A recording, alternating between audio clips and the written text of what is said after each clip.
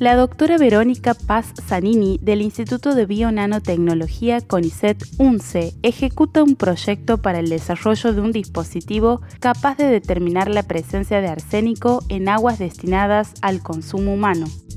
El dispositivo surge como una investigación en el marco de uno de los proyectos de Argentina contra el hambre, en particular este era para detectar arsénico en muestras de agua para consumo humano. El desarrollo que nosotros logramos posibilita la cuantificación de arsénico, puede ser en un vaso de agua, en una muestra de agua tomada de un pozo, de un aljibe, las ventajas que ofrece con respecto a otras tecnologías es la de la portabilidad. Nosotros, a diferencia de otras tecnologías, podemos ir con el dispositivo al lugar y en ese mismo lugar hacer la detección de arsénico en el caso de que tuviera arsénico el agua. Estamos trabajando con algunas materias primas que son comerciales, pero estamos en desarrollos para lograr nosotros construir esos electrodos en nuestro laboratorio con un convenio de trabajo eh, con el INTI. Actualmente tengo a cargo este grupo de investigación,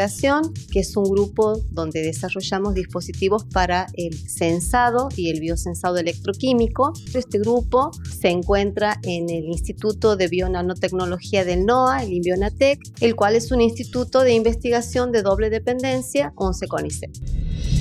Autoridades de la UNCE participaron del conversatorio sobre abordajes integrales y políticas públicas organizado por el Ministerio de las Mujeres, Géneros y Diversidad de la Nación. Como parte de esta jornada, se socializaron los datos de la encuesta de prevalencia de violencia contra las mujeres en la provincia y del Sistema Integrado de Casos de Violencia por Motivos de Género. Dicho encuentro estuvo a cargo de la Subsecretaría de Abordaje Integral de las Violencias, Laurana Macalalza, junto a la directora de Articulación Territorial para el Fortalecimiento del Acceso a la Justicia, Florencia Viola, y se contó con la presencia de equipos de investigación, docentes, estudiantes de carreras de grado y posgrado, colegios profesionales y organizaciones sociales.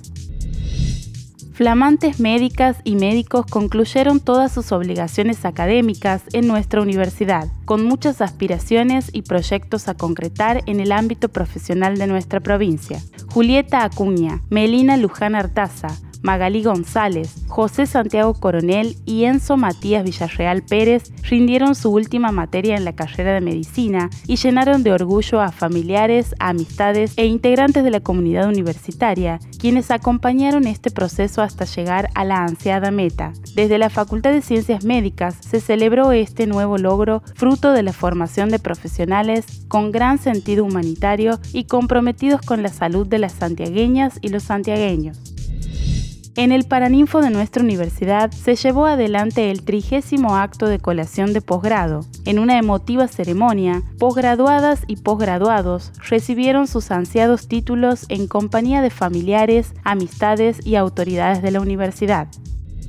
En primer lugar, manifestar nuestro infinito agradecimiento a esta Casa de Altos Estudios, Universidad Nacional de Santiago del Estero, que por intermedio de sus correspondientes facultades y la Escuela para la Innovación Educativa, nos brindó la gran oportunidad de formarnos en cada una de las carreras de posgrado, doctorados, maestrías y especializaciones. Este cúmulo de conocimientos adquiridos nos empodera haciéndonos más competentes en el uso y manejo de nuestras estrategias y herramientas para afrontar los nuevos desafíos de la sociedad actual, la sociedad del conocimiento. La calidad académica y la pertinencia educativa que caracteriza sus estudios representa la garantía de que el éxito les acompañará en cualquier actividad a la que se dediquen. El compromiso que hoy acaban de expresar cada uno de ustedes incluye el de defender estos principios. Creemos y confiamos en ustedes. Utilicen su formación, sus habilidades, sus redes y contactos y su voz para influir positivamente en el bienestar de la sociedad y ser agentes de cambio y transformación.